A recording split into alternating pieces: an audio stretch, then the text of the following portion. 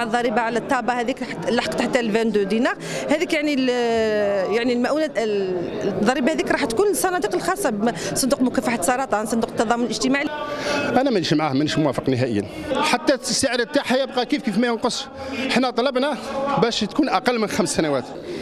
لأنه شكون اللي يدخلوا هما اغلبيتهم إخواننا يعني الاخوان تاعنا العائلات الجزائريين. باش نزيدوا في الدخول نتاعهم تفرض عليهم هذا الضريبة أنا بالنسبة لي شيء يعني ينقص من معنويات من معنويات نتاع الجالية.